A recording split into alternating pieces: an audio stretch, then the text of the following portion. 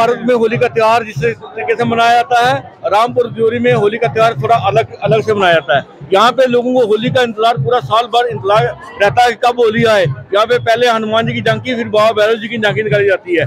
यहाँ पे होली आठ दिन बराबर चलती है।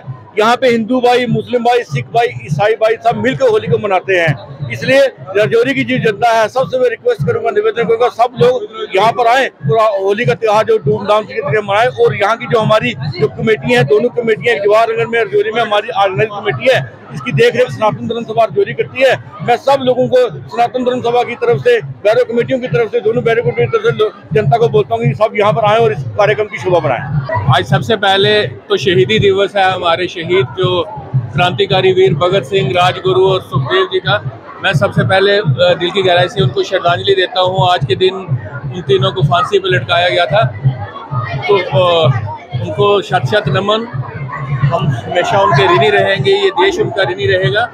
और आज होली की बात करें तो आज होली के इस अवसर पर राजौरी में आज चौथा की पांचवा दिन है जब भैरव देव की झांकी यहाँ पे निकली हुई है। जो परंपरा जो सदियों से चली आ रही है, उसी को देखते हुए एक भारी उत्साह यहाँ की जनता में, राजौरी के लोगों में रहता है। बच्चे, बड़े, बूढ़े, औरतें, सभी लोग इस अवसर पर राजौरी में इकट्ठे होकर भैरव देव की झांकी का आनंद लेते हैं।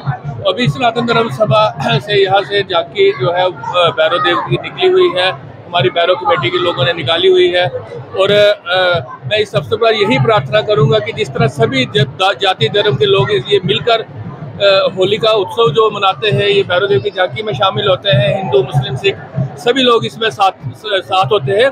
तो एक एक नया मैसेज भी है सभी के लिए कि हम सब मिलजुल कर धार्मिक सद्भावना के साथ ये हम होली जो है इसको मनाएँ।